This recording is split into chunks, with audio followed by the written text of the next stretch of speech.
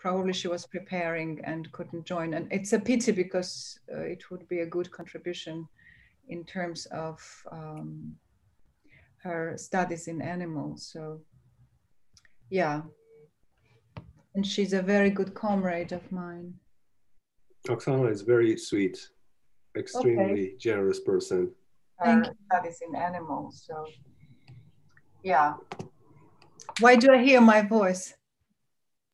Um, is it probably the stream going from somewhere? But I guess it's okay right now.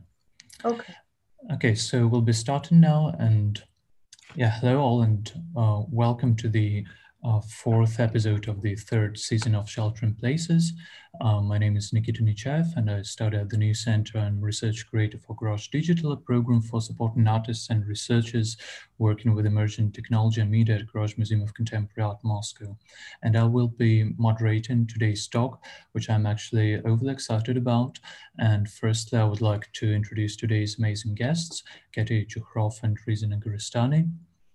So Keti Chukhrov is an associate professor at the Department of Cultural Studies at the National Research University High School of Economics. In 2012-2017, she has been the head of theory and research department at the National Center of Contemporary Art, Moscow. Chukhrov has authored numerous texts on art theory, culture, politics, and philosophy, her postdoctoral dissertation dealt with the anthropology and ontology of performativity, and her full-length books include To Be, To Perform, Theatre in Philosophic Critique of Art, uh, and Bound, and a volume of dramatic writing, Just Humans. Her present research interests are, and publications deal with, firstly, the impact of Soviet economy on the ethical epistemes of historical socialism, with uh, performance studies and with neo-humanism in the conditions of post-human theories. Uh, Reza Negarestani is a philosopher. He has contributed extensively to journals and anthologies and lectured at numerous international universities and institutes. His current philosophical project is focused on rationalist universalism, beginning with the evolution of the modern system of knowledge and advancing toward contemporary philosophies of rationalism, their procedures, as well as their demands for special forms of human conduct. Here's the author of Cyclonopedia and Intelligence and Spirit. Um, so for today's um, talk, I've proposed a, a topic uh, which uh, sounded uh, the mystery of black boxes. Um, and um, uh, uh, so in her recent text on the philosophical disability of reason, uh, Keti reminds us of a short science fiction piece, The Mystery of Black Box, written in the 60s by the Soviet philosopher Evald Ilyenkov, uh, in which the author contemplates the future role of autopoietic behavior of AI and its application. The story depicts a dystopian world inhabited with machines producing algorithmic infinities as the consequence of an essentialist obsession with computation and algorithmic logic.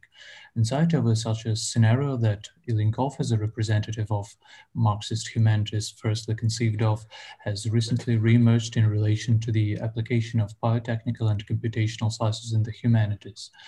And today I propose to discuss the current paths and developments in algorithmic modes of knowledge production following Ilyenkov's vision in order to outline the potentialities and limitations of human reason under conditions of its machinic self-evaluation. Of particular interest will be the kinds of uh, emancipatory social and communicative prospects that may emerge as a result of such onto-gnoseological transformations. Uh, so that's going to be a kind of a general framework for uh, the talk and probably the first and pretty general and naive question um, that I have in mind to kick off uh, was to think about that while talking about human reason and knowledge production, as well as the possibilities of the introduction of non-human alien and AGI-like uh, reasoning. The first question that emerges is uh, how we actually think of human reason in mind, and at least what paradigms should be used or could be used to describe it. Um, um, I know who would like to go first. Yeah um, I don't know. What do you suggest? Uh, I think that please you can start. Oh, okay. Uh, thank you first of all for invitation, Nikita, uh, and uh, I'm really delighted to be invited uh, as an interlocutor um, to New Center of Research and Practice because I really admire uh, what you are doing in terms of um, uh, philosophic research and artistic research.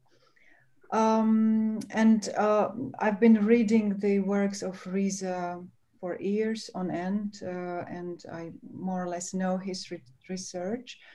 Uh, so it was very interesting for me to make the comparisons uh, of the critique of um, neural networks and artificial intelligence that we have in Marxist and post-Marxist um, theory uh, and in contemporary debate about um, artificial intelligences. And well, just before I start answering your question about uh, human reason, I maybe uh, would delineate um, uh, very shortly some kind of um, principal paradigms um, of, of how um, uh, the critique of artificial intelligence develops uh, or what I am observing so far.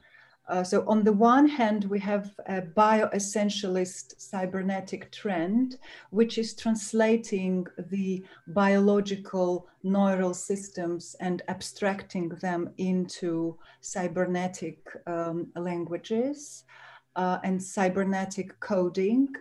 And uh, I think classical cybernetic belongs to this context. We have um, language philosophic tradition, which Riza represents.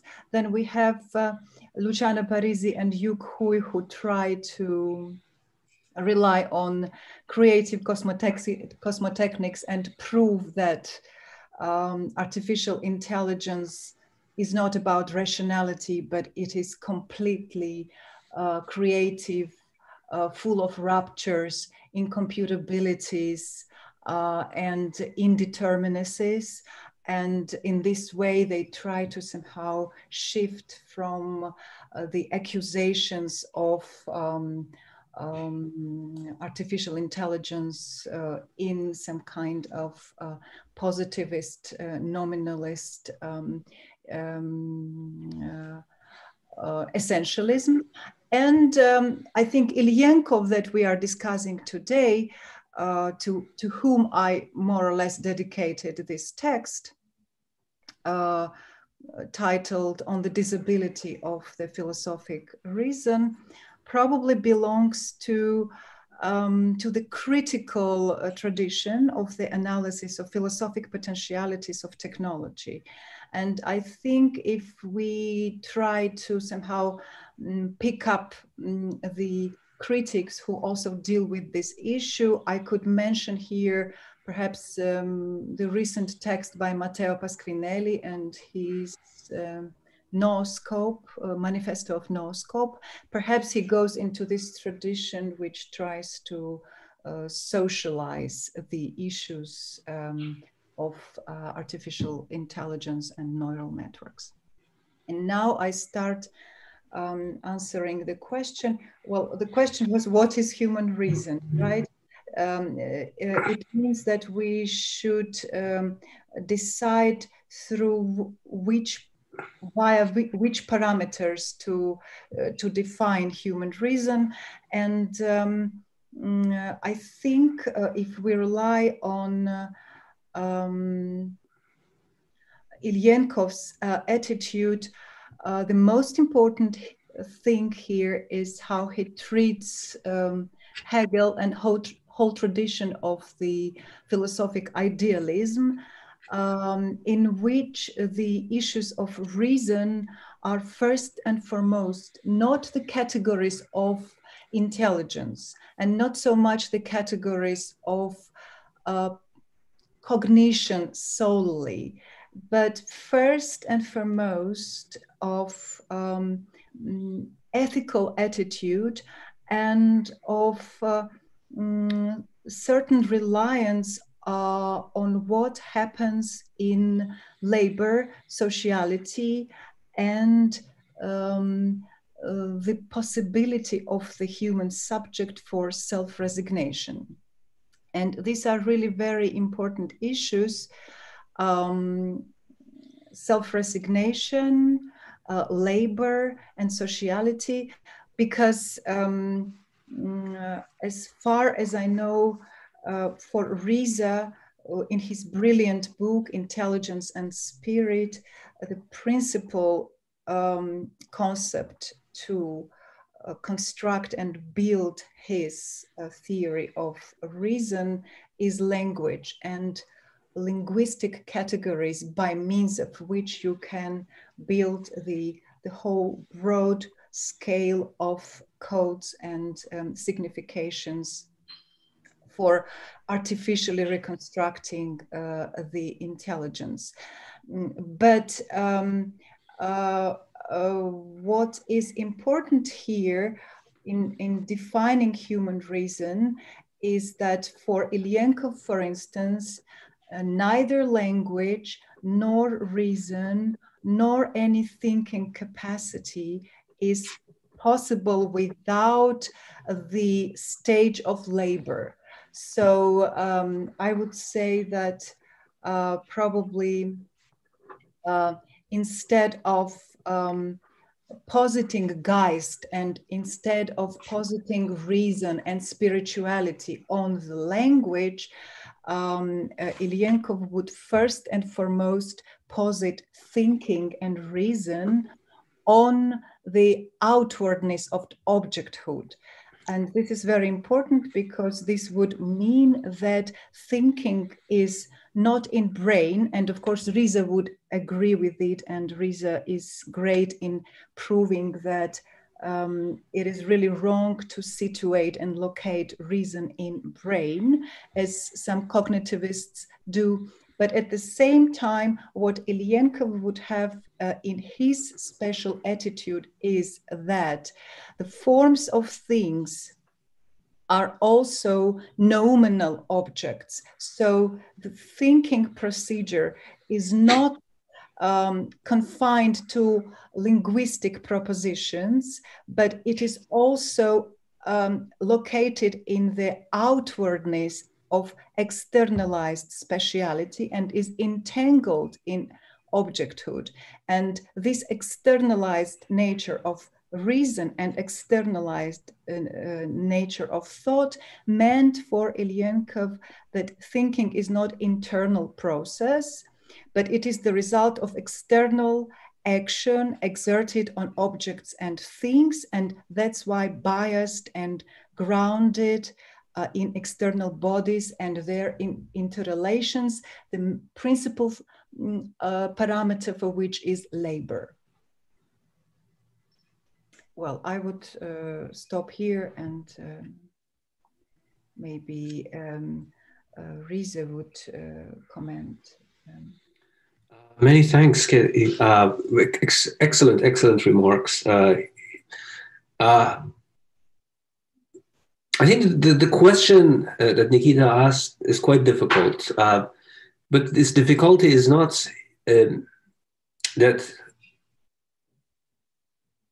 in its essence is a difficult question. It's precisely difficult to the extent that um, beneath its surface, uh, there are uh, there are fundamental distinctions um, as what sociality means, what reason means, as you pointed out, so on and so forth.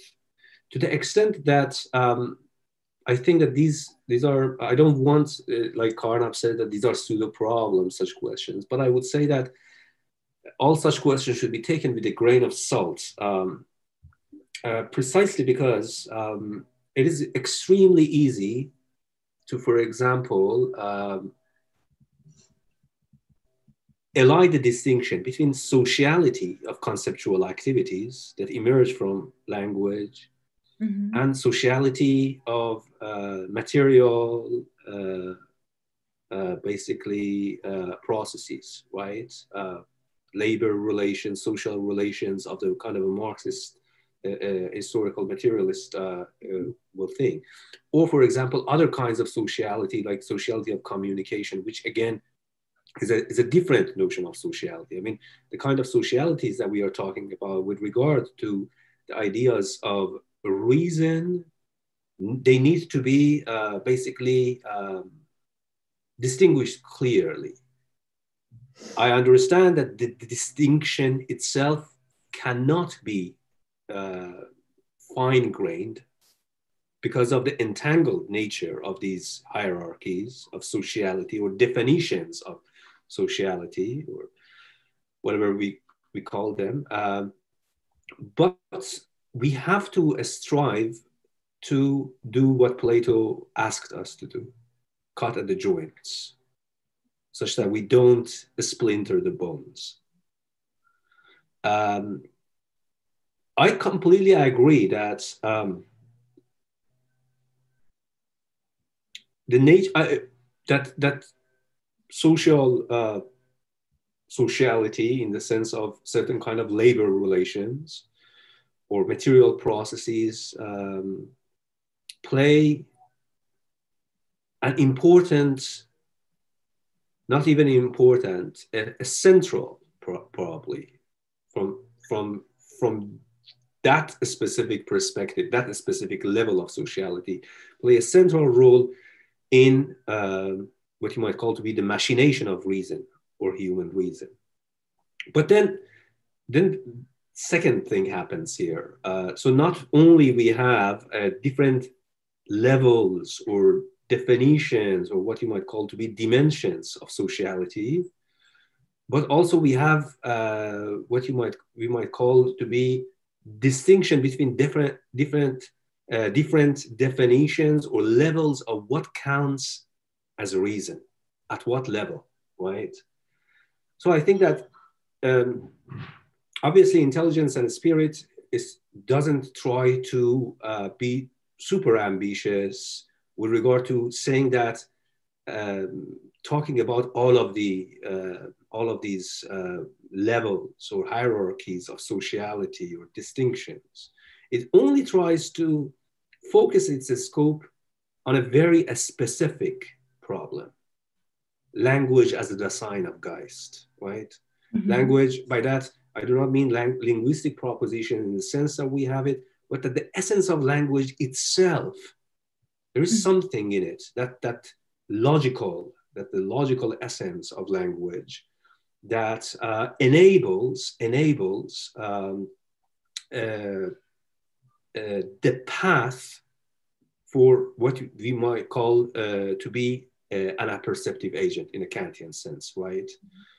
Um, which is what you might we might call it to be um, um a, a, kind of a germ, a kind of uh, um, embryo for the concept of intelligence, precisely because at this level, uh, we can talk about intelligence not in the sense that people at LessWrong talk about intelligence, right? In this free floating idea of intelligence, but intelligence essentially cons- being constrained by what counts as intelligible in the world. Mm-hmm.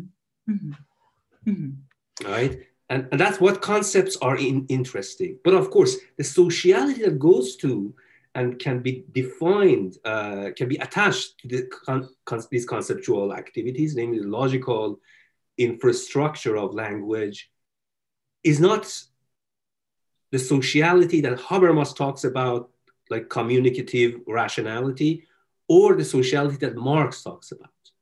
Essentially, it doesn't mean that it's separate from them. I mean, it is, uh, it is disconnected. It's disconnected from them. It simply means that we need to kind of bracket the problem of the sociality of language to its own mechanisms, its own characteristics, in order for us to talk clearly about other forms of sociality, other levels of sociality, such as labor relations, such as, for example, you know, uh, what you might call to be uh, even um, um, the, the historical materialist criticism of human rationality, right? So on and so forth.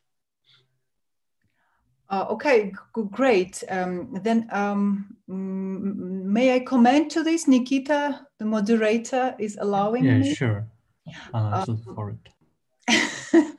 uh, well, I, I wanted to list um, those uh, things really Mm, uh, that I really find uh, very important in your attitude and in your book, and then ask you a question how to deal with certain issues that are incomprehensible for me in terms of dealing precisely what you said. How can how can we abstract those languages and whether we are having that. Um, mm, that right in terms of um, uh, tiering the linguistic parameters from the materiality. So what I find really uh, important in your book that um, you rely on uh, not simply phenomenological consciousness, but you map the semiology of the self-consciousness. This I find extremely important um, and uh, that you make differentiation between different kinds of functionalism and your functionalism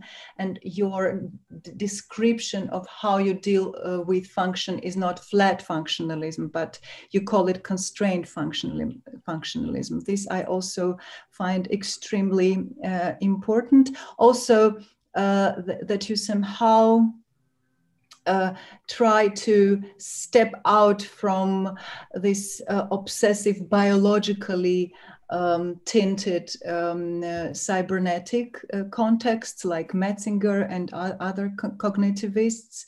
Uh, and this is extremely important. But um, my question would be, and my question not only to you personally, but generally to to this optimistic attitude that we can list the functions to really um, somehow um, write the program of of the in of what is intelligible in intelligence.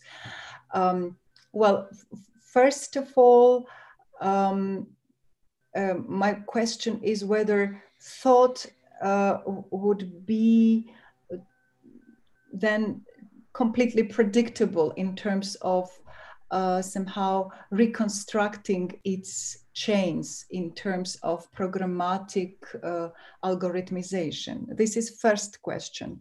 Second question that I also don't understand when we talk about uh, artificial intelligence and its semiological parameters, we have here patterns, we have here recursivities, we have um, uh, um, certain sorts of um, um uh, specific uh, semiological uh, uh, statistical approximations, and first and foremost the um, the semiology of recognition, which is very important. So, do we deal with linguistic or mathematical parameters when we deal with the algorithmic and uh, computing essences and computing com computing coding, the data and algorithmization. So, are the data and algorithmization linguistic at all, or mathematical at all, or we deal with certain kind of different uh, praxis?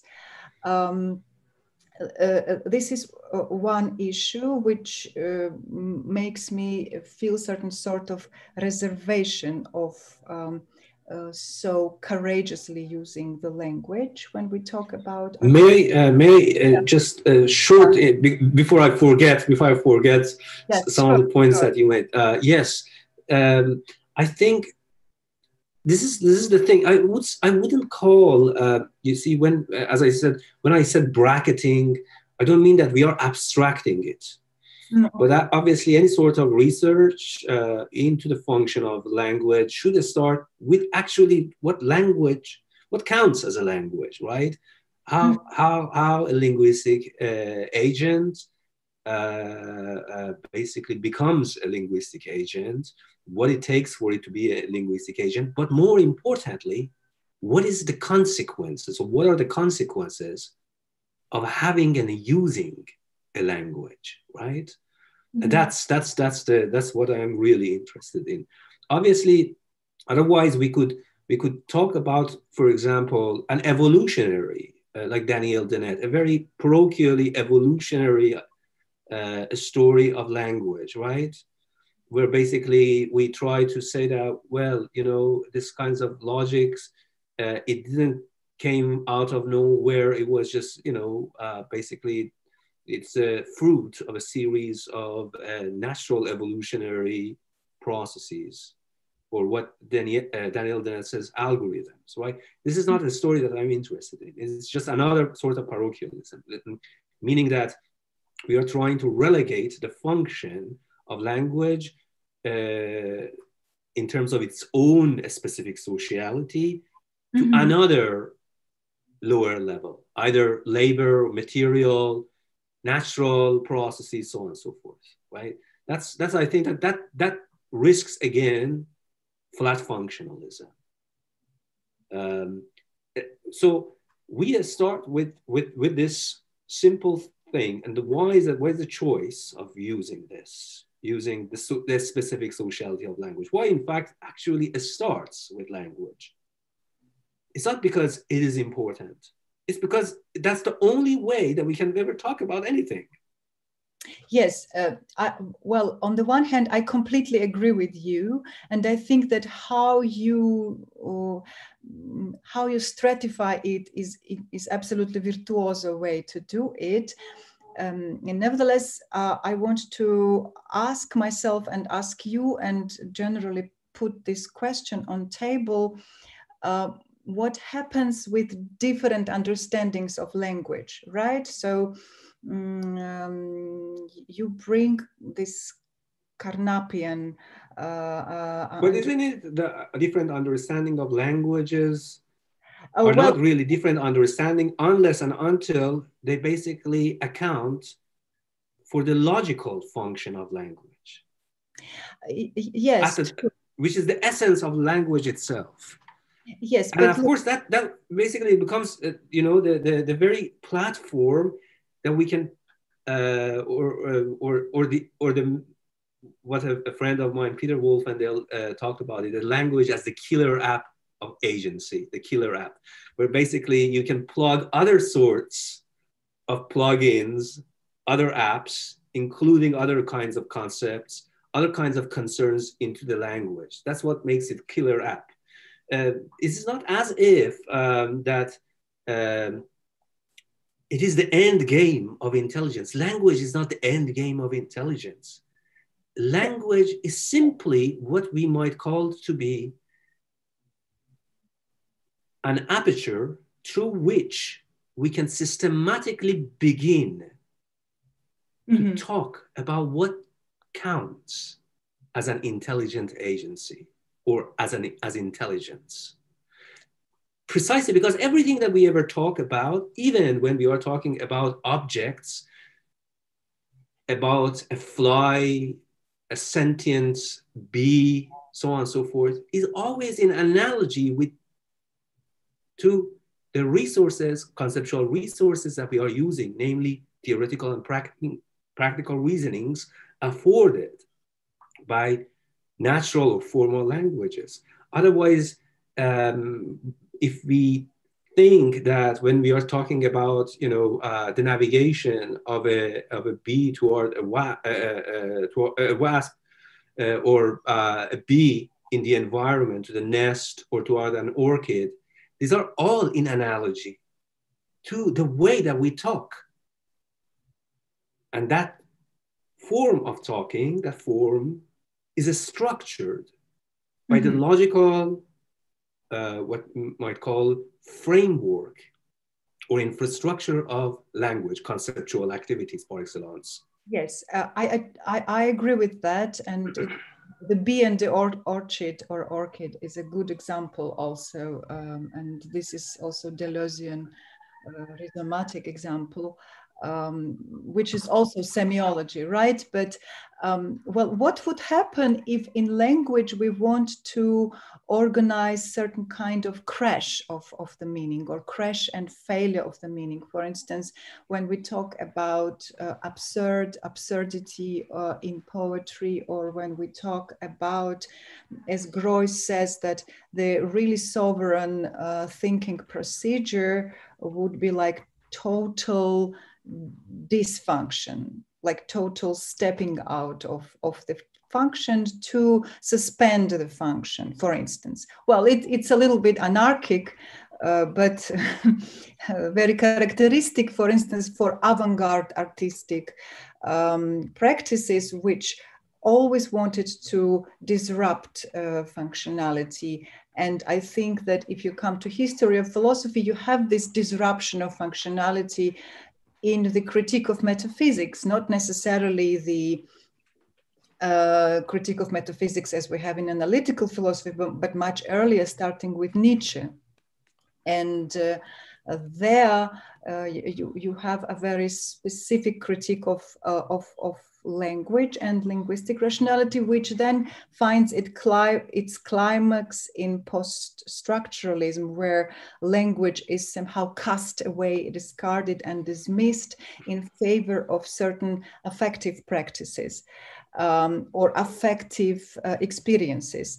Uh, but I don't agree with this attitude as well. You know what happened in, in post-structuralism, where language is the ideology, right? So this post-Althusserian um, uh, tendency shows us language uh, and, and post-psychoanalytic tendency shows us language as, as the constant suppression and repression uh, dealing with which we have to emancipate the body and all other non-linguistic categories. You know this big myth yes. don't you think that this is precisely because that there is in fact eliding the distinction problem of, of the sociality, what kind of sociality language has. A sociality, the sociality that is only and only is specific to its own, uh, what you might call uh, to be core functions. Functions not in the sense of functionality or purpose, but mm-hmm. what defines language. Like what is actually the core of language? Um, you see? And that's that's actually that's a, that's actually quite a scary uh, thing. And you see that romanticist uh, philosophers uh, in the 19th century uh, thought that this is one of the most dangerous questions against hegel. Because uh, uh, because that leads to certain kinds of unwanted consequences in philosophy. And of course wittgenstein and other people started to use this um, um, the, so, so the romanticists said that, okay, let's talk about this. The essence of language is ineffable, meaning just try block this whole idea that language has a core function. Let's say that it's just withdrawn from us, withdrawn mm-hmm. from us, and never talk about it. Mm-hmm. Right? But of course, then we saw that it created a certain kind of extremely parochial philosophy particularly in certain kind of German circles within this new ineffable philosophy of language. Uh, for example, can you list the examples? Um, um, who's that? Um, the um, uh, it's um, the one who's uh, who has written the philosophy of uh, biology. I always uh, it's not Klassen, Klagen. Is it Klagen? Yes, I think it's Klagen. Okay. Um, uh, one second. Um, Mm-hmm. I always forget his name. Uh, Klagen. Um, Ludwig, Ludwig, I think it's Ludwig Klagen. Uh, yes, mm-hmm. yes. Um, huh? I think so. Yes. So, so there are these these people. I mean, and they, they were really giants, and they exerted huge amounts of influence on the philosophical scene. Um, but I think this again comes back to the idea that um, philosophy tends, um, this is its bane and bliss, curse and bliss at the same time. tries to um, do the exact opposite that Plato asked us to. Meaning that they try to actually have a lot of joints without clearly distinguishing with one another, which sometimes is good from the perspective that you were talking about. Like the idea of unconsciousness with regard to the function of language, right? But then, precisely because you philosophers sometimes avoid the, the hard task of cutting at the joints, that's what we might call to be creative essence of philosophy turns into organon of pure whimsicality. whimsicality, good. okay.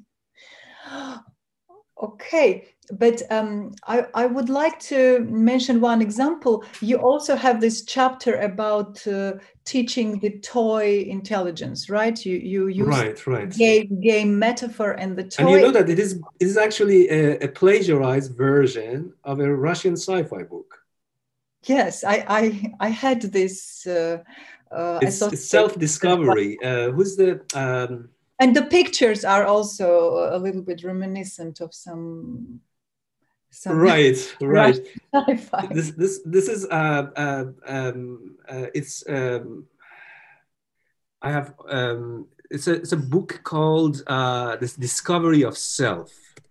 The discovery of self is it the discovery yes the discovery mm-hmm. of self. Um it's it's essentially uh um so I think that there is actually a footnote about this in the book as well. Uh, so there is this scene in Russia. Um, it starts from early 70s to early 80s, where cyberneticians, German ideal with German idealist upbringing, communist agendas, and uh, sci- uh, basically have also um, you know sci-fi um, what you might call to be um, mentality, they start to work around these kinds of projects, like uh, kind of gluing, for example, uh, you know, um, uh, Jean-Jacques Rousseau's Emile mm-hmm. to Kant, to Marx, to Hegel, uh, to Vygotsky. Yes. Uh, and, and so on and so forth. Uh, actually, I, I, I was precisely going to mention Vygotsky and the people around him because they also mention this uh, uh example of how to teach the deaf and blind children. So they are also um, infants. Uh, and imagine that these infants are as well blind and deaf. So, how to inscribe into them the capacity to to use language and yes that's those what, are those are really the language questions. be so so so the whole vygotskyan psychology was afterwards developing into this kind of pedagogy which brought to a very interesting book by alexei leontiev activity and consciousness and uh, what is what is it called? Activity and consciousness. It's called Activity and Consciousness, uh, and the uh, author is Alexei Leontiev. I can uh-huh. put it into chat. Superb, excellent. And uh, what is important here is that, um, uh, like, I agree with you that the language is the most generalized, the most logical, um, the most uplifted uh, stage uh, of what happens and, and, and, how thinking develops. But uh, what they claim is that uh, production of notion, production of concept, production of the ideal issues or the universal or the general issues happens much earlier than the language. Absolutely, so, absolutely. So yes. already the objecthood, like when the deaf and blind child is trying to perceive the object and uh, um, manually with one's uh, hand uh, by means of haptic procedure, touch the objects and uh, try to understand the meaning of these and translate it into semantic uh, parameters, then you already have um, completely, completely. I com- yeah, in complete agreement here. Yes, uh, so you already have the nomen. So, and the idea was that the language comes after this nomen, and but it is not the demiurge of, uh, as as you said. So it's not the demiurge of uh, meaning. Meaning, yes. Uh, but what is uh, what is concealed behind linguistic meanings is already uh, Absolutely. I think that there is a, there is a sentence in either the first chapter or the second chapter of Intelligence and a Spirit where I say that it, it, the majority of the, our concepts, uh, actually the majority of all concepts, um, originate from proto-semantic activities, proto-semantic or pre-semantic mm-hmm. activities. Mm-hmm. And what concepts do simply disambiguate those activities. Mm. Like, for example, uh, the whole idea of the kanzi, uh, the, the, the, monkey, uh, uh basically uh, the monkey uh, touching the obelisk and kanzi sees it and mm-hmm. um, it starts to create a certain kind of, you know, world proto-image, world proto-image. And this world proto-image is pre-linguistic. and, but, but the thing is that he needs those uh, basically semantically loaded concepts in order to disambiguate what he was doing all along. Yes, but uh, the uh, the discrepancy the discrepancy between Vygotsky attitude and your attitude starts on the next level. So, okay, we agree that certain kind of uh, non-linguistic activity are already conceptual, which you agree with but then not that they are conceptual but no no no they are actually they are pre-conceptual. Concept simply basically is just like the icing on the cake. Simply disambiguation. There are points of disambiguation of what we have already been doing. Yes i understand. This is your attitude but what uh, vygotsky says that uh, uh, the the transition between the thing and the concept is much shorter in terms of like um, the concept exists before the language and the language is not uh, enhancing it at all but it is simply mediation. So it is simply the mediation of the already achieved and acquired uh, and uh, mm, prepared um, concept. So, so the issue is that the objecthood is already in certain sort conceptual and ideal and language is lower than the conceptuality of objecthood so this is the crazy fantastic idea of uh, all those uh, socialist marxists because right they, right and, they wanted yes, I completely. I think that you are you nailed yeah. the, the, the, my problem with you know yeah. even though I love Vygotsky, but uh, the, the, the problem here is that you know uh, it's essentially uh, um, precisely creates uh, an uh, a certain kind of epistemic blockage here. This, this okay. certain kind of attitude. my problem with it is that if the concept, uh, if, if we can even talk about concepts as preceding language, then let's think about that an agent has only such concepts that precede the emergence of language. And, but what are they? But what uh, are they? What are they? And how do they function, right? And the thing is that if we don't have the inferential web mm. that can only be attained in the full in full force by language. We can never actually associate concepts together. Only a sets of specific concepts but not all concepts together. Second of all what is most important we can no longer have a critical attitude toward the concepts we use which means that if we only had concepts or proto-concepts preceding the emergence of language, we could never actually ever adopt a critical attitude toward the kind of concepts that we are using, which we you do, are, in fact.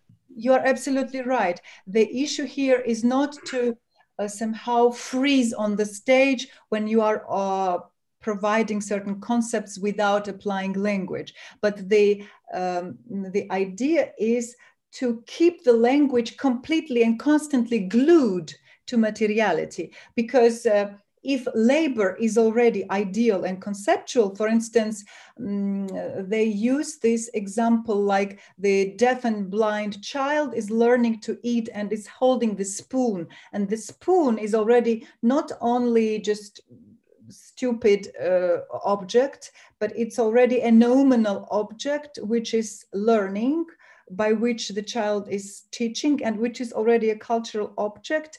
But uh, by this token, what uh, what is the consequence to this procedure and ling linguistic outcomes of this procedure are constantly connected uh, and uh, they they are tied with the umbilical cord to materiality and and to labor procedures that's why you cannot uh, pull put uh, uh, and somehow cut off the linguistic procedures and um, um, labor. We can never do that. Practices. Yes, absolutely, we can never do that. But yeah, what is this, important? This was, thing, this was the point that I. Uh, yes, no, no, absolutely. I uh, no, I agree. We cannot do that. But I would say that this is precisely the problem that the uh, my project, in a very uh, larval manner, mm-hmm. has been trying to address. And by larval, I mean I wanted to say that uh, intelligent spirit is not actually a book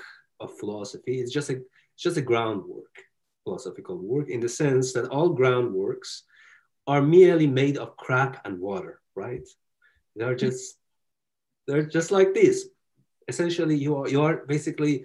My apologies to use this word. You are uh, shoveling a lot of shit in order to uh, distill some good insights out of this. And the same, uh, the same thing I think about uh, intelligence and spirit, that um, basically the question that we are, um,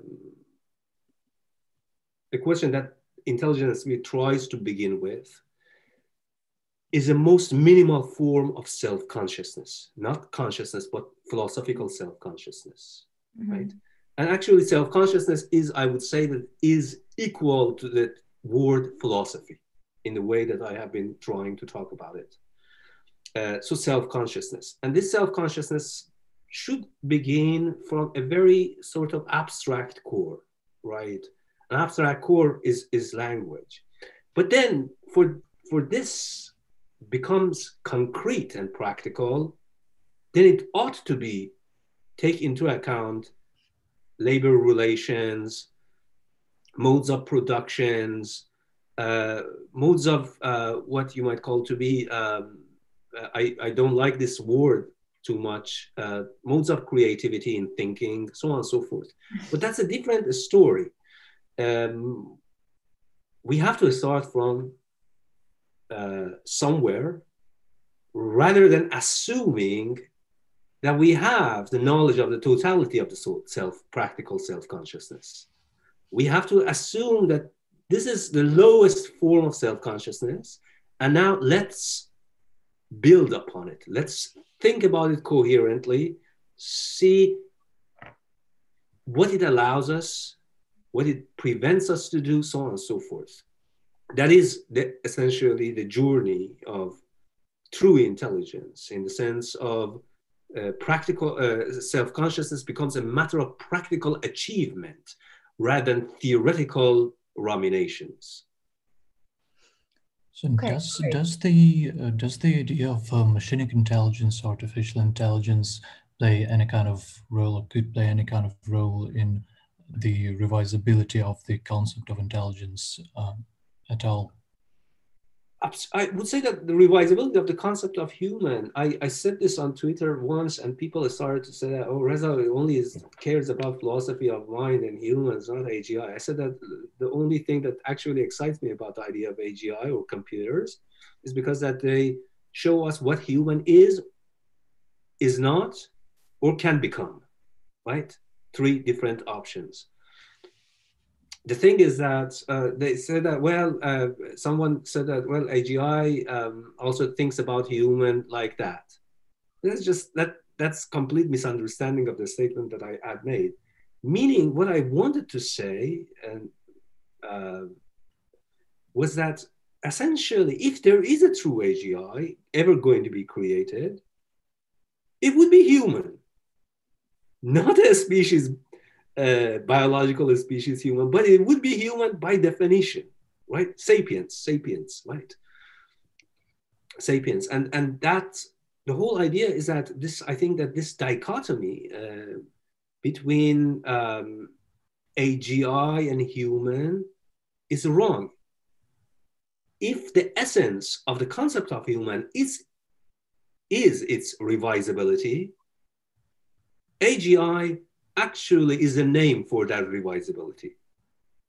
And this is why I said that the outside of view of ourselves as AGI in the book, outside view of ourselves as AGI. I like the idea that, um, well, the intelligence is already an artificial construction and it is a good opportunity to look at at the human mind as AGI and AGI is human. I completely agree. And what is interesting as against post-human studies in uh, your uh, approach, Reza, is that um, uh, you try to see, uh, you try to uh, inspect what AGI is starting with the ancient philosophy, right? And uh, you are showing how this artificiality is concocted and uh, functioning. And, and this is really very important and valuable. Uh, but for me, there are questions which are not easily to resolve, uh, not easy to resolve. For example, um, how to combine, for instance, dialectical procedure this uh, the issue of Anderssein of Hegel and the concept of Anderssein, the other self, the non-self, which is constantly um, present in Hegelian dialectics and then in Marxist dialectics and then in post-Marxist dialectics, with the functionality and its discreteness, and uh, with this idea that mind uh, and uh, intelligence is simply about augmentation or, or about expansion or about learning or about expansion of in order expansion of the order of intelligibilities as i mentioned. Yes intelligibility but uh, and but with, with, the consideration that intelligibility doesn't simply means um, accumulating empirical facts about the world in which we live but intelligibility is in the proper philosophical sense. So we have ethical intelligibilities, we have cognitive intelligibilities, we have empirical intelligibilities, so on and so forth, mm-hmm. practical, theoretical, so on and so forth. But uh, how how does function how does functionality combines itself?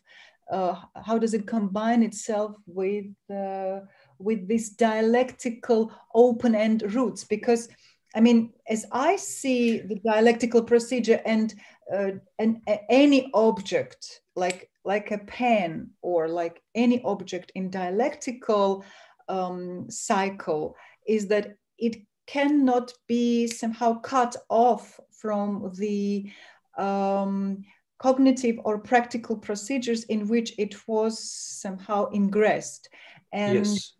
Um, so uh, uh, that's why I'm saying when you when we try to provide certain kind of signification, like a master signifier for this.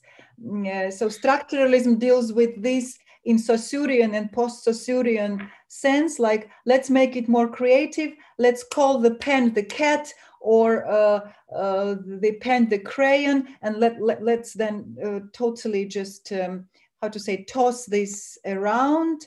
Uh, then post-structuralists come and they say, oh, the plane of uh, things is uh, separate, the plane of signifier separate, and then the whole this, um, I mean, revolutionary and anarchic work starts. But uh, I'm talking about a little bit different thing. Mm, uh, uh, if if we inscribe this object into the whole history, the whole diachronics of culture, of labor, of signification, of life, uh, then um, uh, how can we functionalize it um, uh, in terms of activity, in terms of act. Right, right, right. And, okay. uh, and of course, we can do it formally, we can formalize it. But on the other hand, if we are just crazy dialecticians, then we wouldn't be able to do it. Yes, I think that I, I would say that if, for example, when it comes to this pen, uh, if uh, uh, we are trying to do, I think I think both uh, of those are pathological. Uh, formalizing this pen, right? Uh, and also saying that oh, it has a very very long cultural history, right, where it came from and stuff.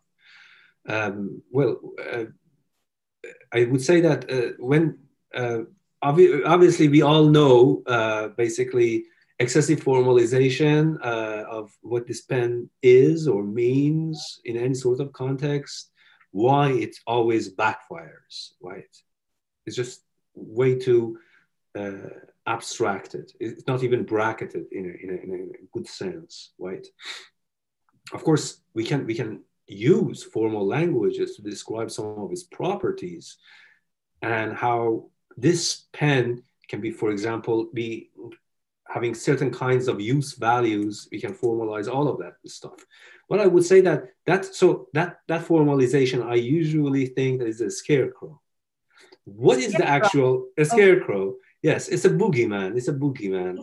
What I think that the real danger is is when we think simply when we say that this thing has such a deep origin, is more complex than what you think, namely a pen, that's when we are doing a sloppy job at philosophy. No, I'm not saying this. No, no, no, I'm not. No, I'm not. I, I, no, no, absolutely. My apologies if you if yeah. it came as if that I am. No, I'm saying that. For example, I, I, I didn't want name names, but I'm okay. Now to clear the fog. I mean, uh, no. For example, in certain certain kind of post-humanist uh, agendas, comparative literature, post-humanism, and stuff that there is always a certain kind of appeal for something being always ever more complex, right? That, you know, okay, so this is, yes, it has a, his, a rich historical thing. It's a Rotring pen. Well, Rotring, um, you know, is famous. It, a bunch of them were collaborators with Nazis. Then they actually managed to get out of the Nazi deal they became they were always great engineer, but unfortunately, this is actually a Japanese rotring pen, which is actually better than a German pen. so so we can always talk about this stuff, but if we are going to always talk about say, saying that oh well we cannot actually talk about this pen, then the talk of pen becomes futile isn't it? That, that's the whole idea of also intelligence, concepts like intelligence of course that this is has, has is culturally rich artifact. But as philosophers we should understand that we can only unpack what counts as a pen or in this case a rotring pen a step by a step. Not simply by gesturalizing it that is so it's very rich Yes, of course, it's not rich in terms of symbol. Then it would be a fetish or some kind of, I don't know, religious object, and you would be sitting. Yes, but even but even the cultural, but even the cultural individuation, but even the cultural and social individuation of this pen.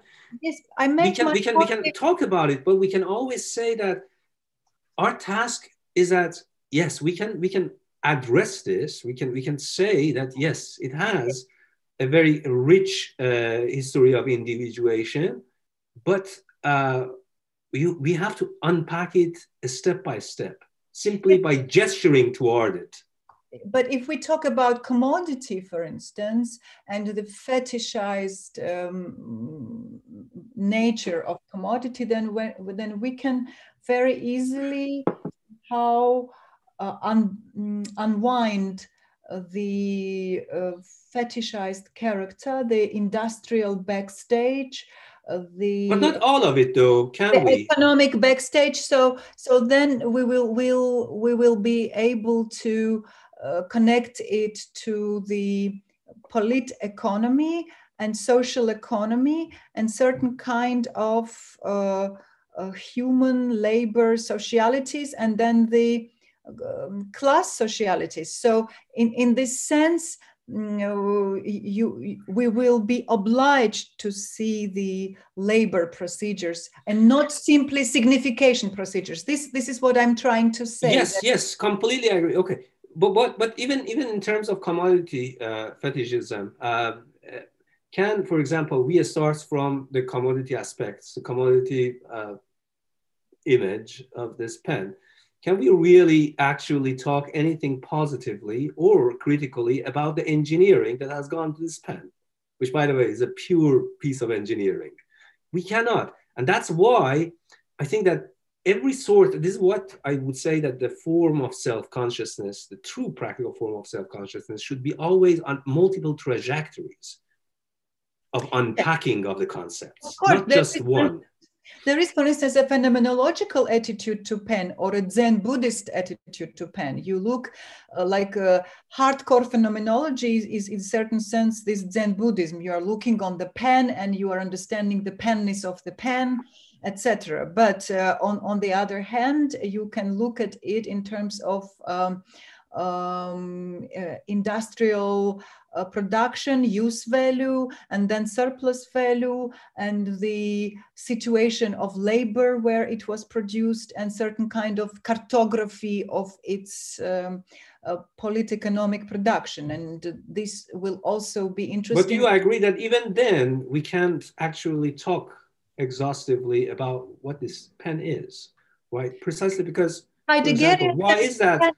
Of course, we, in Heideggerian sense, we will not be able to define. Yes, but but that doesn't mean that we shouldn't ever talk about this because this is exactly we can we can replace the name of this pen with language, right? So, why? I don't understand this. Why? Precisely because what goes into this pen is exactly what goes into language, and mm-hmm. if we say that it is too complex they're coming from all these kinds of varieties of dimensions mm-hmm. we can never actually talk about anything. Everything become ineffable in the romantic sense that i was talking about. Yes. So Husserl, Husserl's bracketing i think was a fundamentally enlightened politically conscious and philosophically robust attitude. Of course because we bracket he, and then we talk Yes, he bracketed it as transcendental operation and observing your own transcendental contemplation. Yes. And then we we see this object, and this had a tremendous effect on art and uh, on, on, thought and everything. I, I agree with this. Uh, but on the other hand, what I wanted somehow to describe here is this. Um, um, characterization of the non-self because uh, computation, for instance, it, it has to deal with the selves. It has to deal with certain kind of discrete components or discrete units. And my question is, what if we deal with indiscrete units? And if, okay, we need computation for this discrete operation, and there is necessity in these discretely organized operations, but then maybe we cannot claim that computation should arrogantly uh, pretend that it can encompass certain kind of indiscrete process because this is what i'm asking you you mean continuous con- continuous processes? Uh, continuous processes yes. Temporality is also very important because for instance bifo berardi's um, uh, article is about impossibility to emulate consciousness because consciousness is mortal and consciousness is temporal. Uh, uh, and uh, this is also the question how to deal with uh, uh, uh, the necessity of the mind to be aware of its mortality and to be aware of its death. The, the, these, right, are, right. these I haven't come across in your book, for instance. Um, I mean, I mean uh, okay, uh, my idea about this is that uh, the, the, fundamental question is, is something that is quite um, still open. I used to be one of those people uh, who were uh, basically criticizing precisely this kind of obsession with, discrete, with, with discrete, right? Really? Oh, okay. Uh, um, as opposed to the continuous, uh, hence mm-hmm. the digitalization mm-hmm. uh, revolution.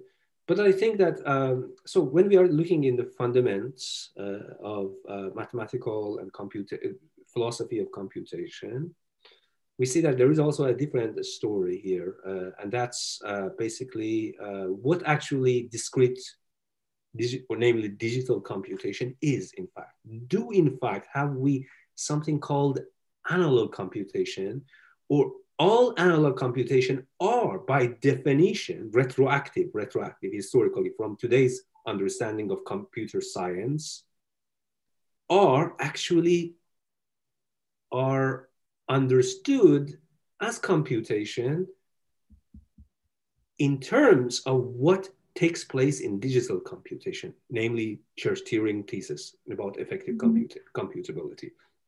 Now, now, of course, this is, these are these are really, I think, uh, difficult issues, open, and I don't think that um, philosophers should pay more attention to the openness of this problem. But what I want to talk about is that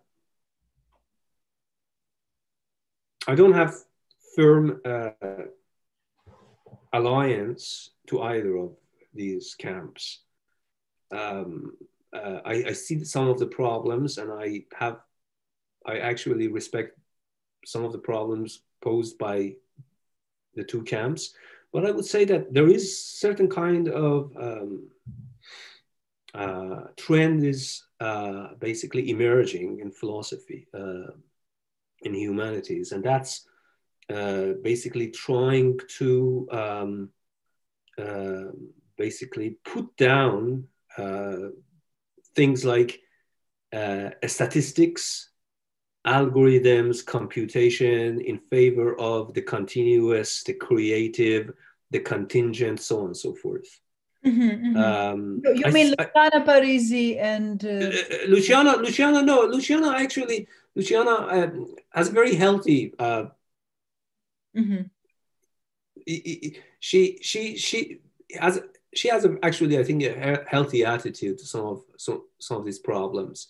But uh, I can understand from a cultural perspective. I mean, after all this uh, kind of pop uh, sci, pop computer sci about AI, AGI, and stuff uh, being published on LessWrong, all sorts of um, like some you know Aeon or no not Aeon Aeon is usually on the others on the other camp or, or some of these uh, places uh, there is a, there is a certain kinds of over optimism about um, the power of uh, digital turn algorithm and uh, basically the discretization project right mm-hmm. which actually again as i said it's, it's quite misguided precisely because they don't even actually uh, address the fundamental questions of computation. I mean, one of, uh, I mean, there are, there are, of course, great philosophers from Pittsburgh School uh, who have been working recently on these issues. On the other camp, the problem is like this, that, uh, you know, for example, great friend, I mentioned this in another talk, Yuk Hui, uh, idea of uh, that, you know, the statistics, that the statistics is always about more probable.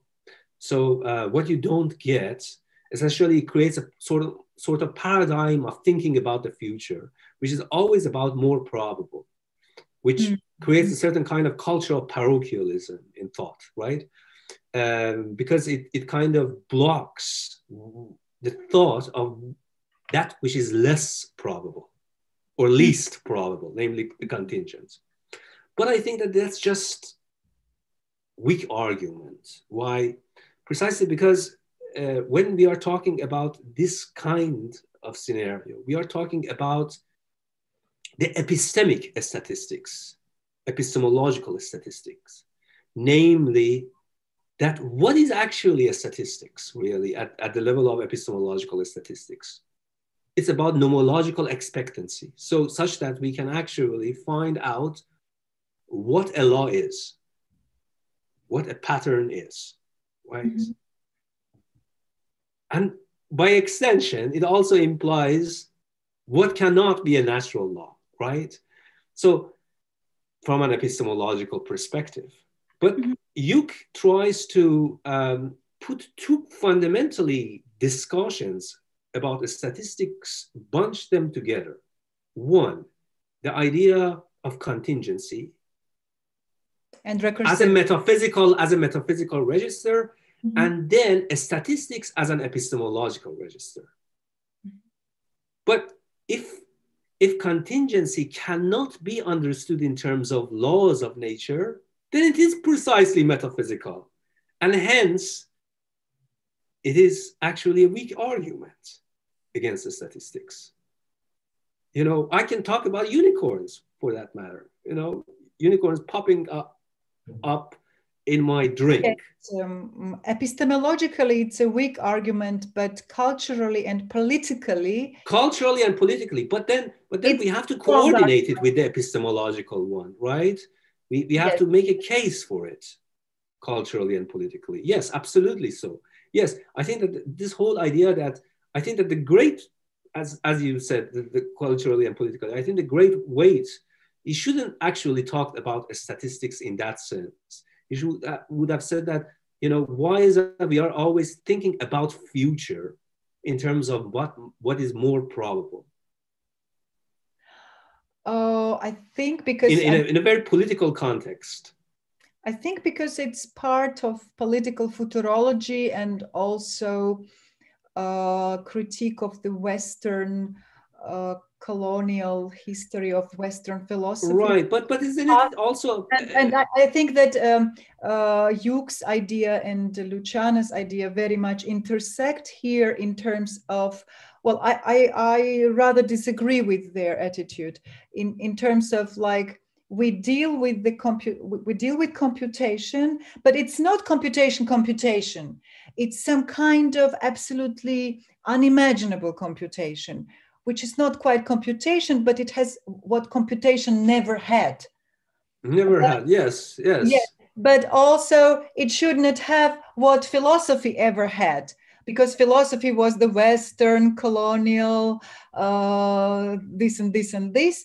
So um, yeah, it remains in some kind of empty, vacuous room because it doesn't have the uh, back, yes. background of the um, classical philosophy in terms of instruments, but it also doesn't have the um, technical background and it relies on something that is not by definition computed. For instance, um, uh, all the um, some some kind of futurological ideas um, in, in what I hear from new texts of Luciana, which is constantly, by the way, quoting Yuk Hui, is that uh, we do not want functional computation. We do not want uh, Turing machine and its uh, then what do you want? What uh, kind of computers we are we talking Turing, about? Yes, uh, we don't want Turing machine in computing because it's very unilateral, because it's a capitalist machine of um, this is this is what uh, um, uh, who's, who's uh, uh, Nikita? Who's so, that guy um, who, who, wrote the, the book about computation? Please, my apologies. My apologies.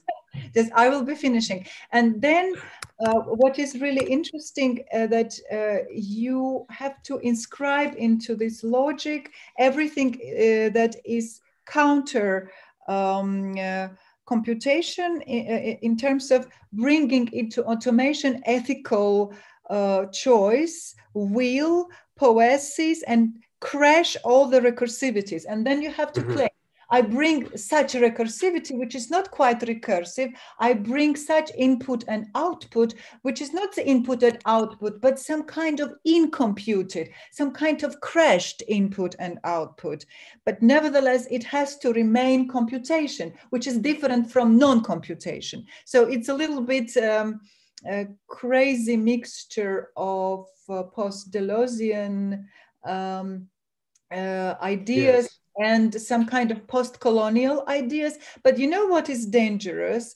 Uh, that the recent conversation with Yuk was with the extreme right-wing Russian critique of Western philosophy, which is saying precisely this, that we need like uh, the idea of Yuk is we need multi-pluriversal cosmotechnics. Yes, you see, that's the whole point of that I'm really afraid of when it comes to these kinds of stuff. Yes, but then uh, this right-wing Russian guy also says we don't want this Western philosophy because it was too universal. It was unifying certain languages, and then it was subjecting us, different cultures, to absolute unification. So we need some kind of um, particularizing uh, machinism. And we, we, need a new machine, which will be a creative machine, a creative uh, uh, neo-recursivity. But then uh, uh, this right-wing logic of pluriversal uh, axiomatic yes, yes. coincides with uh, cosmotechnics and this is a great problem of course yes i, I think that this is, this is actually something that i have noticed that uh, yes it's, it's, isn't it uh, really that uh, you know um, as i mentioned uh, the lack of crispness with regard to such concepts such as computation such as you know cognition life to think to be human uh, because um, because we might say that crispness uh, uh, we, might allow the distinction between various terms of crispness crispness in terms of discrete crispness in terms of critical crispness so on and so forth. Bunching them together saying that all crispness in conceptual definition of computation actually is part of the problem then the the basically what's the reaction to that inevitable reaction to that would be a certain kind of creativism creativism eruptionism you know eruption in the order of these kinds of logical um, new world algorithms and stuff that we get in Yuk's but that that precisely because it is uh, it emanates from the lack of conceptual crispness around these terms, it can play politically to the hand of right wingers, alt right, actually. That's, that's really, I think, that something that we should pay attention to. This is why I advocate that, look, we can talk about the cultural um, uh, aura or the political aura of these concepts. And of course, there are so many things wrong with them, but we should also um, look, go back to the foundational problems as philosophers around these concepts, starts to see what actually, for example, computation is uh, and how it can be culturally assimilated. Separating as much as for now, as much as we can, these two issues apart, even though we, we know that they are now becoming have become entangled, such that we don't make uh, overgeneralized thesis that precisely become, uh, you know, um, adopted by alt-right. I mean, first of all, uh, we have seen it uh, that you know, uh, one of the things that uh, one of the Kant's Kant's greatest idea and Hegel's as well uh, idea of philosophy was, or Plato for that, strive for systematization of thinking, right? And the thing is that we see actually among these new AI people in, for example, in US, like uh, with LessWrong, with, uh, for example, Yudkowsky and um, Eliezer Yudkowsky and other kinds of people. They say that, look, we can do the job of philosophers better than them. Mm-hmm. Because we because we know the algorithm, right? So there is that, that kind of scenario, you know, kind of fundamental anti-philosophical attitude toward the question of intelligence.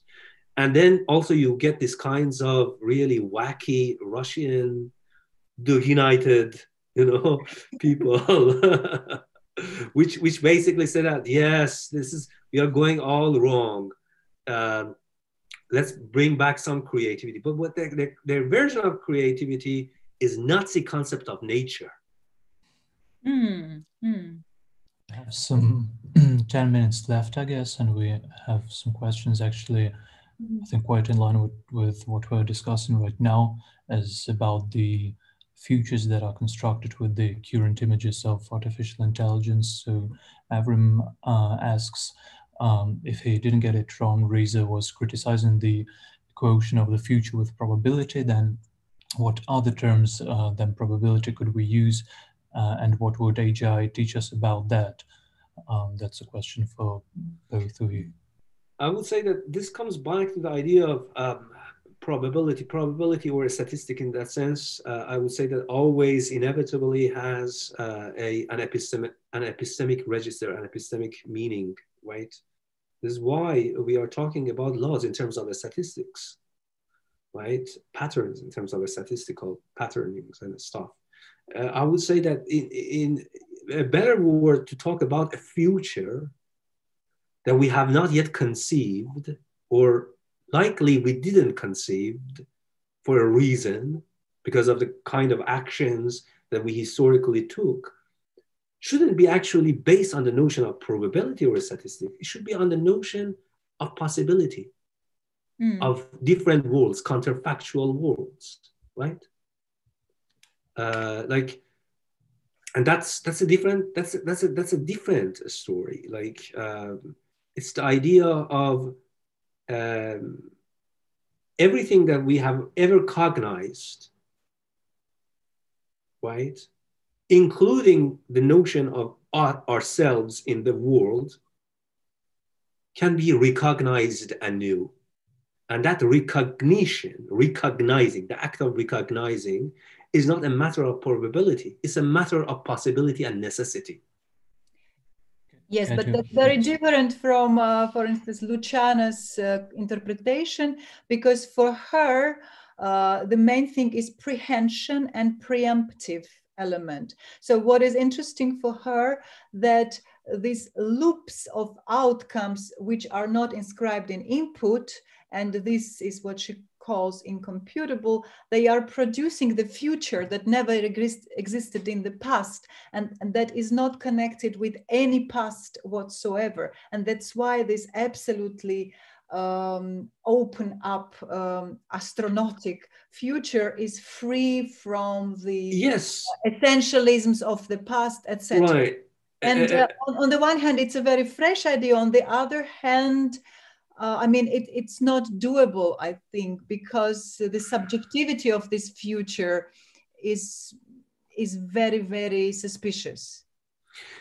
Um, this is this is one of the things. I mean, uh, um, a friend of mine that uh, you might know. Uh, I was talking just uh, before this talk. Uh, Jason Bahbak Mohaghegh. Um, um, he was he was saying that he's really interested lately in this idea of uh, uh, potential selves, right? That uh, there is this kind of like uh, Middle Eastern form of thinking, but also Asian. Mm. That what we call a self, a self, is just um, is the most parochial of all selves, right? Precisely because it has forgotten that it could be something otherwise Mm-hmm. So essentially, there is this kind of mystic form of thinking uh, that tries to erase the past, namely the determination of this existing past, such that it paves the road for those other selves mm-hmm. that had potential to come back, to emerge. But the thing is that I would say that maybe in mysticism, it actually works as an exciting idea. But in terms of politics and cognition, it doesn't. Because any sort, as Nelson Goodman says, any sort of uh, um, alternative, any sort of future that we are going to talk about, should always be and can always be, by necessity, be recomposed from the existing world and not this existing world and mm. not another world. Yeah, this would be Ilyenkovian also because he was insisting that there is only the world that exists. You cannot fantasize. So the phantasmatic idea would be the bubble. And uh, um, very often you come across this in computer sci-fi things like the the new bubbles might be new options and new contingencies and new right. worlds right? And it's it, it's so fascinating to imagine these new intersections of new unimaginary bubbles. It's it's also very very yeah it's it's very refreshing in a way. But what I would like to ask you, um, uh, the two questions maybe, when you mention in your book um, um, causality and you claim that computing is able, uh, is has the ability and capacity for causality, whereas in some other texts on computation, I came across the idea that uh, algorithmic design deals with correlation but it has difficulties with causation uh, as well as volition. Like, do we need volition and causation for concept creation? And if computing doesn't have this volition and causation, logical causality, or did, or or uh, I mean, so there are two ones. One which is called okay, Sebastian okay, yeah, please explain. Yeah, logical causation, logical causation, in the sense that, for example. Um, you know, certain kinds of premises lead to certain kinds of logical premise, logical premises logically mm-hmm. yield certain kinds of logical consequences. So that's is a kind of what we might call to be a logical explanation, not a causal explanation, right?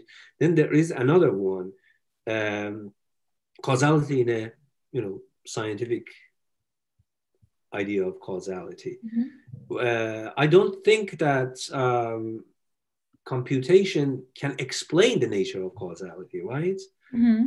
Com- computation is essentially what causality is in, in that sense, in, in okay. that deterministic so you're sense, saying right? that it, it, it exists in the, it exerts the procedure of causality, okay. Yes, essentially what, what we are, nomological expectancies. Mm-hmm. Uh, in, to use uh, Hempel's word, word. Uh, for example, that certain kinds of pieces fall um, together, certain kinds of events will happen under a bracket or a set or a tuple of conditions one, conditions two, conditions three, conditions four, so on and so forth. As long as we have these conditions, as we have, as long as we have actually uh, basically uh, put together the set of um, uh, you know um, these preconditions and uh, what follows from them under those conditions, then we have something close to a pattern. A pattern. Yes. Okay. Okay.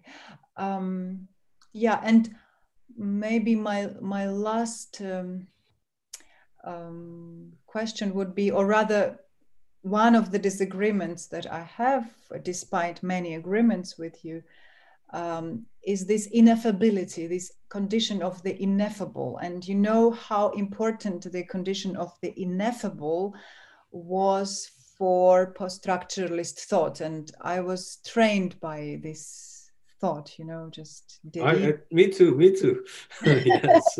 Levinasian, Derridian, Deleuzian, etc. And the ineffable is not simply um, the non-said or non non-comprehended, but it is sometimes uh, deliberately ineffable in terms of uh, dynamicity dynamicity. Uh, in terms of slowing, in, in terms of slowing the procedure to find the specific complexities. And I, I very much uh, re, um, rely here on how, for instance, Derrida tries to translate rationality of cogito into insanity. And he does this into virtuoso way in, in his article, which is called Cogito as the problem of insanity.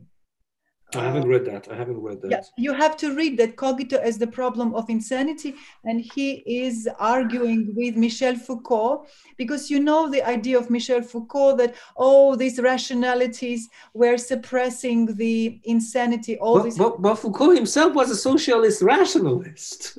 yes, yes, but I'm I'm telling that he was. Uh, uh, um, pr- providing this archaeology, this historical archaeology, right of heterotopia. And then Derrida is arguing with him, saying that if you want to find insanity, there is nothing more insane than cogito itself.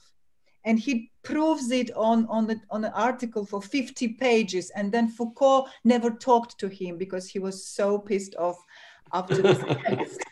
So, uh, this, um, so this. I think uh, with with regard to ineffability, this is something that a friend of mine has been telling me um, that Yes, I, I think that uh, there, there, are certain there is a certain kind of ineffability that we have in the history of philosophy, and it's a respectable thesis.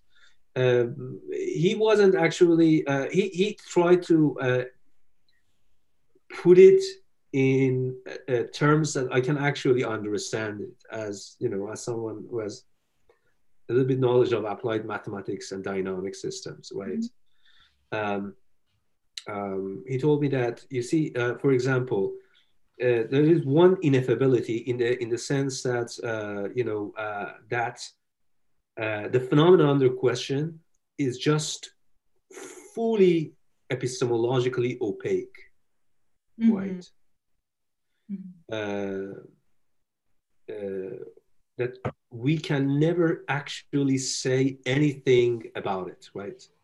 Mm-hmm. Then there is then there is another one, which is a weaker version of this, that we cannot exhaust exhaust the characterization of the essence at work of, the, of, of such phenomena, right? Then there is a third one, which is which he called the uh, the respectable version. When, for example, there is a system uh, whose um, which which we can we always talk about it, right? You know, we can we can give actually models about this, and these models work, but there is also the component of ineffability precisely because the system, the, co the, tra the transcendental co-constitution is open. Mm. The, meaning that the dynamicity of the system always uh, going one step further than the transcendental co-constitution, such that that even though we can talk about this, but every time that we are talking about it, the transcendental co-constitution should be elevated to a different level. Mm-hmm. Yes. Reinvented anew. Yeah. I guess we'll have to be wrapping up soon. I wonder if we have some final questions from the audience, maybe. Um, and anyway, thank you greatly for this conversation and thank I you, really Keti. enjoyed really it. Really appreciate and thank you, Nikita. Thank you, thank, thank you, you absolutely. Thank you, it, it, was, was magnificent to talk to you. Yes, it was pleasure. It was great. I learned a lot. So uh, thank you so much. I will definitely also check uh, uh, these two uh, activity and consciousness and the, the Derrida text definitely. So. Okay, что прощаемся? Uh, yeah, before before we end the talk, uh, I will uh, uh, I will be happy to introduce the next episode of Sheltering Places that will take place on December first, and it is going to be a discussion with uh, Athena Kurtzajani and uh, Kalina Patalis, moderated by Mohammad Salemy. Um, and they will discuss the historical dialectic between the Greek elites and Zayatas about destabilizing the Ottomans' imperial infrastructure and the mass movement for national liberation, uh, liberation preceded by the force of enlightenment. So I'm mm. pretty sure it's going to be captivating as well. Sounds great. Thank you once again for Thank our captivating uh, Kelly, do I have your email? Uh, no, uh, I, I, uh, how, uh, how can I write I'll you? share those, yeah. Yes, uh, I, I, will write Nikita and we shall share. Okay, absolutely, sure. absolutely, okay, absolutely. So in touch, in touch. Love to you all. Thank you so much. Ciao. Bye-bye. Bye-bye.